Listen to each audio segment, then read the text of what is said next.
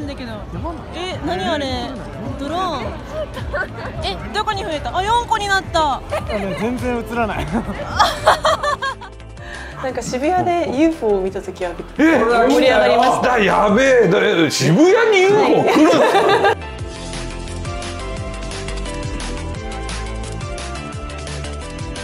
るんで 絶対広告のアドバルーンかなんかじゃ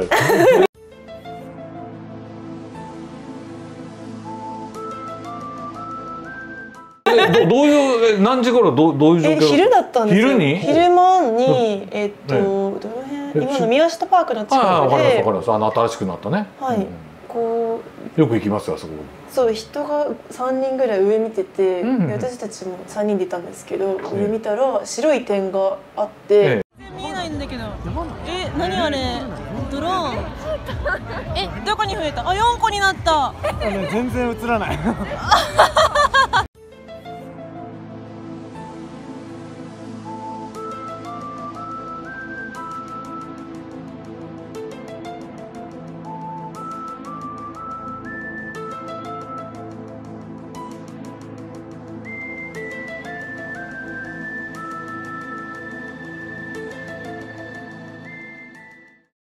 6年前です。6年前。うん。はい。で？その白い点がこう動いてて、ええ。なんだろうねとかって見てたらいきなり4個になってそれが。で「えなんか増えた」とか言ってたら、また無数の「てんてててててて」みたいになって。あいっぱい増えたんですか？そうですいっぱい増えてて動きもなんかこんななんかよくわかんハエみたいな動きしてて、でも怖すぎて UFO 目撃した後1週間ぐらい寝れなかったですえ怖くてですか怖くて。えどういう意味でですか？なんかと連れ去られたらどうしよう。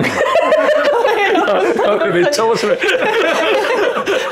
いやいやいや思うそそれはすごい想像力ですね。めっちゃ夢見見ました。そういう。本当に怖くて。連れ去られたらどうしよう。そうあと白い物体がめちゃくちゃでかい物体が飛んでって家の前に来て。来て連れ去られる夢。大きいものが怖いんです私多分。あーありますね。みたいな。ダイナミズム的に大きいもものね。そうそう大仏恐怖症みたいな。あ奈良の大仏とかダメですか？めっちゃ怖いんですよ。動きそうっていう。実は。よ動くんちゃうっていうあのうわーって思っちゃうんですか動きそうで怖いですけどね大仏系は。うーん動いたことあんのか？なんで怖いですかなんでですか本能的になんか怖いですね大きいね自分より大きいものが結構ああなるほど、それが夢に出てきますねなんか自分より大きいものだと大仏の手前にもっとあれ確かに都営バス確かに都営バスの時点でだいぶ大きいけどなうんあだからあのスカイツリーとかも結構怖いんですよああわかりますあのでかいですよねあれそうなんですのもタワーだったら大丈東京タワーの方がなんかまだ温かみがあるんですよね。う色かな？スカイツリーが本当に東京タワーもあれ下に見に行くとあ夫見上げあのあの鉄の塊たるでかさたるや、うん。なんでだろう。ちょっと透けて透け感があるからかな。わかんない。あなた。密密度があるように見えるやつが。あ多分そうです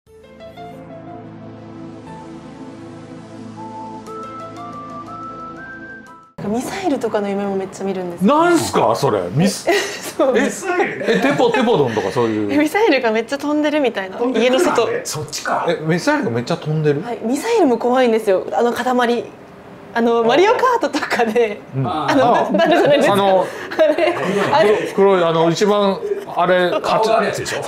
以下とかになると出てくるやつね。あれめっちゃ怖いんですよ。いやあれミサイルというかあれ砲弾だけどね。あれは砲弾ですけどね。なんかあれのもうちょっとリアル版が結構夢に出てきますいつも。悪夢とえどういう感じで出るんですか？その向こうから来るんですか？ブワーンいやこっちっていうよりは、うん。窓の外をこうゴーって言ってるの。はいめっちゃ怖いんですよ。でミサイルそんなにいっぱい飛んでる夢見るんですか？見ます。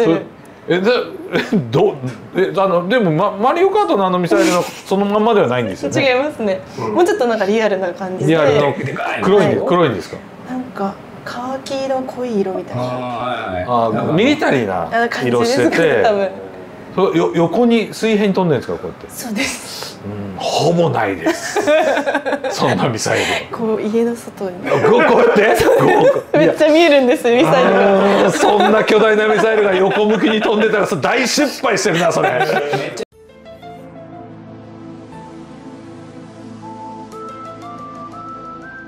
平兵隊の人たちとかも現れますねえ？夢に。あ軍人さんそう現れる？ですそうですめっちゃ怖いんですよ。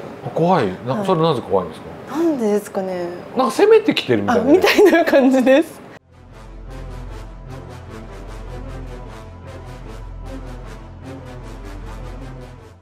かゴジラにめっちゃ追いかけられる夢えええでかいですねはい大きいんです。そうそうそうそう。そうゴジラに追いかけられるの？追いかけられるんです。車でめっちゃ急いで逃げてるんですけど。多分無理だろ。通常逃げれると思いますよ車本当ですか？ゴジラ。ゴジラの速めっちゃ怖いんです。まあっていうのはないの？度え入ってくるんですかね？いや入ってもうひたすら。こうやってガーッガーッガーッってくる。ね結構な速さで。めっちゃ速いそれゴジラじゃないですね ハリウッド版のゴジラかな？で実家の目の前の道路をいつも走ってるんですよ。へー。だいぶちっちゃいねそのゴジラ。めっちゃ怖いんですよそれが。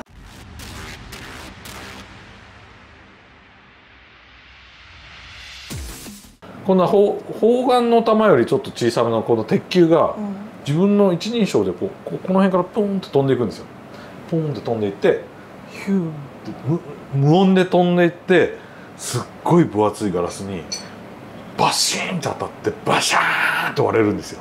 それがすっごい怖いんですなんか。うわーってなっていつもだってものすごいこう寝汗かいて起きて怖いまたあれ見た何なんだろうっていうのを小学校からずっと見てたんですけどもう30いくつになってから見なくなったんですよ、でも覚えてますいまだに。めっちゃ見てたなあの夢。何だったんだろうって。だから多分だから繰り返し怖い夢を見るって感覚は分かりますなんか。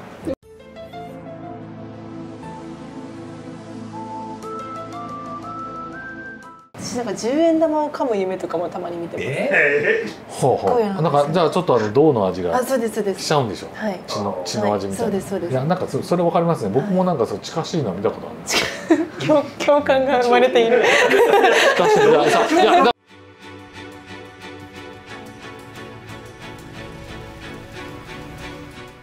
さいやだ悪魔を異常に見る時があってその時に夢を覚ましたいなってすごいうん真剣に考えてて、えその方法を編み出したんです。それを最近使ってます。ずっと。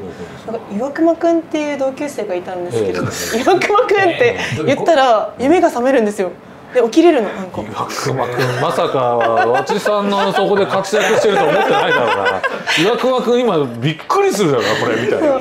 マジかお前。高校の時の友えー、達小学校。小学生。岩岩熊くんどうしてんでしょうね。わかんないです、どうなったか岩熊くんって言うとはい。解けるんですか？目が覚めます。あでもじ自己暗示の自己暗示の一種ですね、はい。でも夢の中で夢って気づくってことですか？そこれはやだやだやだって思った時にあ夢かもいみたいなやすごい気づけるのが僕は気づかないんで結構深みにはまっちゃう方ですね。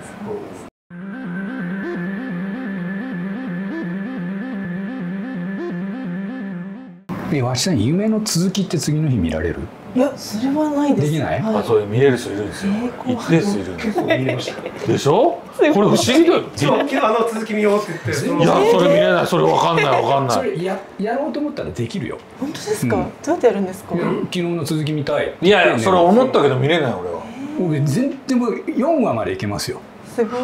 見れ見れない。そんなの。四話それ特殊能力だよ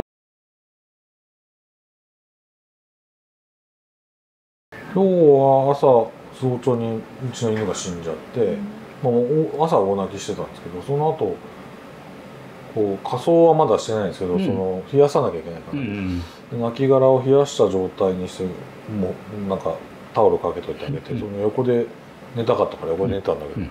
速攻夢を見て、バス停でバス待ってたらそのい僕の犬が現れトコトコって現れてなんかしながら普通に喋れるんですよ。えでもう死んだのは分かってるからなぜか分かってる夢の中でもでお前勝手に死ぬなよって俺が言ったらあの後ろにバスがブーって止まってうちの娘が一人降りてくる次女が降りてきてで犬が僕の犬がいきなり言ったのが「俺が勝手に死ぬなよ」みたいなことを言ったら「分かったよ300万円返せよ」って言ったんですよ。平地君がすごいそれもう起きて速攻嫁に話したんだけどその話、うん、その犬がね。柴犬なんだけど可愛い柴犬が「生前のもっと元気な時にプクプクの時に「分かったよ。300万円返すよ」って言ってでそしたらその途端にとバスがいる道路にブワーって大量の水がきれいな水が流れ込んできてブワーって水がみ満たっていって俺はなぜかコンクリートの塀の上にいるんだけど犬がスーって流され始めて。でそれを俺が追っかけながら何を言ったかが覚えてないけど俺「お前何々も忘れんなよ」って言ったら「分かったよ。じゃあそれもあの返す」って言って。で流れていっちゃってそのか川なんだけど川になってんだけど向こうがものすごいもう広いおうん河口の海みたいになっててそこにうちの次女まで流されていきそうになって俺犬掴みたかったんだけどもうスーッて行っちゃってでも次女はなんか潮の流れが速いから助けてっていうのを俺がガッて捕まえてう引き上げてでうちの犬が流れてくのを見ながらもう一回「あれなんとか忘れんなよ」って言ったら「大丈夫それも返すから」って。返す。流れていくっていう夢みたい。何それ。でびっくりしてその夢見たらなんかそれ三途の川のを渡っていったんじゃないの？でもなんで300万なんだろうね？みたいな話になって。でその後ちょっとまたあの子供を送り出した後にまた寝たんですよ。で寝寝た時の2回目の夢が死んだはずの犬が、あのー火葬前に業者さん呼んだらお座りして立座ってるっていう夢だったんですよ、うん。生き返っちゃって。うん。だけどハーハーしてるからもうまた死にかけてて「どうしたの?」って言ったらど「何々を忘れてたからちょっと来た」って言い出して「笑いにくいえ何を忘れたの?」っていう会話の時に起きちゃったんだけど。はこ怖っと。あまあまあ僕も。でもちょっと嬉しかった。そうそう。まあ同じ体験しますね全然。話ができるからこれに死んじゃった数日は結構。やっぱそういうの影響ある脳にね。出てきてくれますよ。えーすっごい喋れるんだか知んないけどめっちゃおっさんの声なのそうあんな可愛いのに「分かったよ。300万円返すよ」って「で分かった。よそれも返すよ」って言いながら流れていく。るなんだこの夢と思って。なんかのなんかの意思表示ですよ、意思表示だね。なんか意味はあるんでしょう俺の中の解釈。なんか意味はあるででも俺ショック俺ショックだったのがあんなに可愛い俺のあの柴犬ちゃんがあんなおっさんボイスなのかと思うとすっごいショック。私も祖母が亡くなった時出てきました。あ本当ですか？何回か、はい。やっぱそのイメージでしょうねこれね。多分多分。犬と一緒に僕のじいちゃんはもうすごかったですよ。墓から手がボンって出てくるんですけどもう手だけがたずーっと伸びて家族で車で逃げるんですけどあのずーっと手がな伸びて伸びて追いかけてきて後部後部座席のその、まあ、リアウィンドウをパリーンって破ってあのつハンドルをつかみに来るっていうとこまで見て目が覚めてそれ小学校の時に見てもうはあはあ言って目覚めて「お父さんお母さんちょっとおじいちゃんがめっちゃ手伸ばしてきた」って言ったらあのあの行動は珍しいんですけどうちのとか父ちゃんと母ちゃんが「墓参り行かなあかんのちゃうか」って言って墓参り行きましたからね。わざわざ「行った方がええわ」って言われて。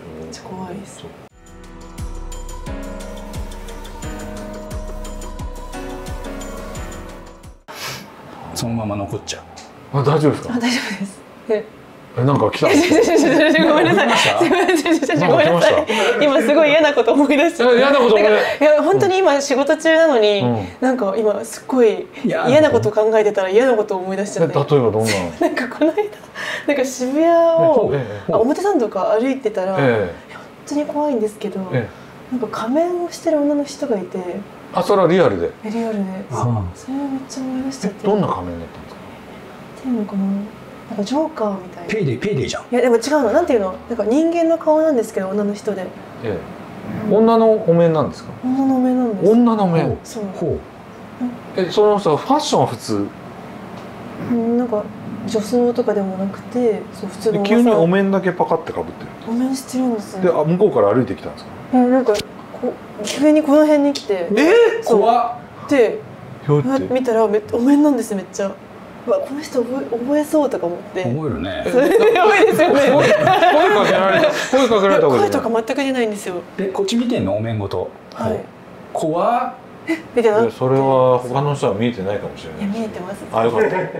お面の人がいたんですなんですかそれまあ東京変な人いっぱいいますからえねペーパーハウスとかにありますあります。あれペーパーハウス好きです。あペーパーハウス見てましょう見てました。あれの顔あれいいですよね。あの面あわかります。あのあれの無機質な感じ。うん。ダリダリのねあれをなあれとなんか昔の昭和の女優さんの化粧を混ぜた感じの。みたいな感じのちょっと嫌な感じだったんですそうねなんですすっごい怖い。まだハロウィンじゃないのにね。そうなんですそれを思い出しちゃいました今。なんか、うん怖いねで怖がらせようと思って多分描いてるのかな。本当に怖い絵なんですよなんか、うんよくあるじゃない呪いの館みたいなサイトにある怖い絵みたいな感じで描かれてて。下手でもないしなんかすっごいなんていうのかな。ちょうど人間が怖いと思うような。ちょっと嫌嫌な感じがありますよね。タッチ。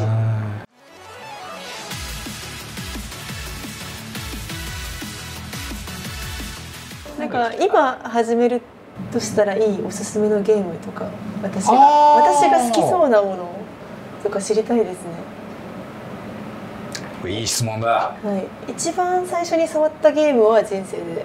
これ普通に言ってもいいですか、うん。普通にみんなと一緒ポケモンシリーズをずっとやってたりとか。わ割と最近ですね。我々俺あ僕が本当ですか？社ポケモンって僕が社会人になってからですからね。あそうなんですね、まあポケモンシ世リー代ギャップだズが一番最初ああ本当ですか？はい、五右衛門とか五右衛門？頑張れ頑張れ五右衛門。六四の。おおでもやっぱりマリオカートじゃないかな。ああ最近。